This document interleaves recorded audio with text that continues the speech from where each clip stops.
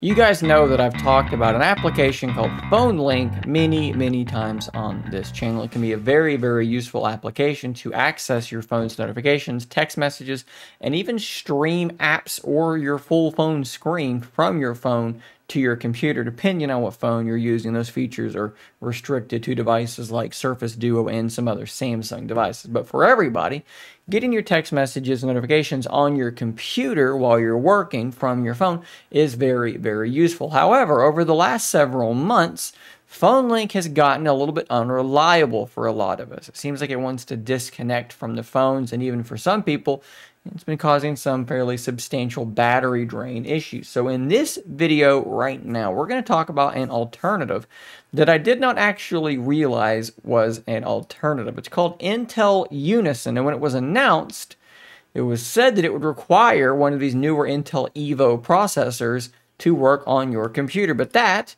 is apparently not actually true. I've installed it on my computer, which is running a couple of generations old Core i7 it installed and ran just fine. So we're going to take a look at Intel Unison, and I'm going to show you exactly what it's capable of doing, and perhaps it could be a serviceable replacement for PhoneLink.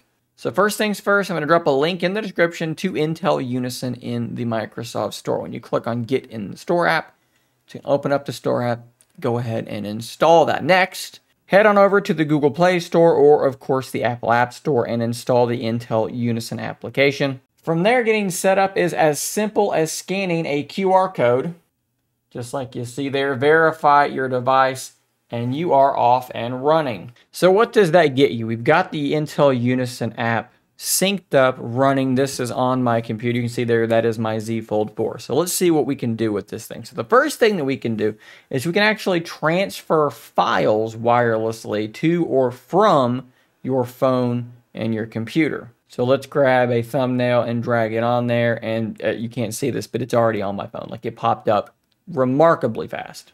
And then doing the same thing, I'm going to select a photo that is on my phone. I've selected it and boom, it is there. It is already on my computer. But of course, there's more than that. We can go into the gallery application and this will show very similarly to the phone link application. It will show the photos that are actually on my phone itself and these can be opened up and viewed in fairly high quality here directly on your computer. We have a pop-up here popping up that I don't want. I do not want to review your app. That makes me unhappy. Go away.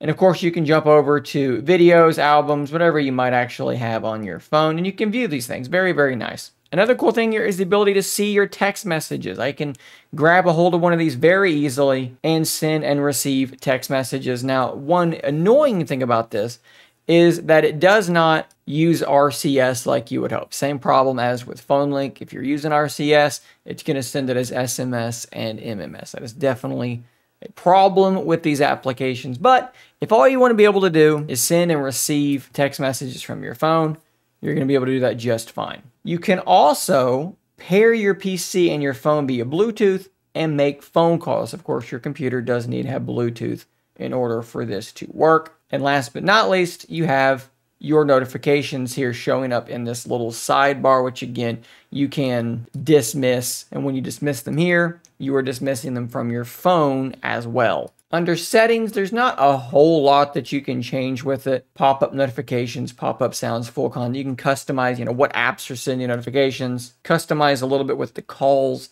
and things like that. MMS size limit, compress MMS, which we don't want to do.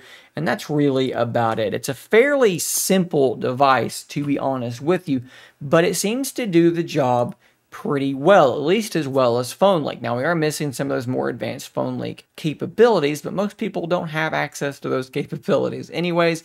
And from what I can tell, I'm not seeing any substantial drain on my battery with this program running. So that's definitely a potential advantage as well. So guys, there you go. That's Intel Unison. Like I said, it should work on just about whatever computer you installed on from what I can tell. I've installed it on a couple in my house that are definitely not Intel Evo computers and they are running just fine. Like I said, links in the description to this stuff. Hit that subscribe button before you go. Let me know what you think about this too. Let me know, is this a better app for you than PhoneLink? If you try it for a while, let me know what you think in comparison to PhoneLink. I think it is a strong competitor.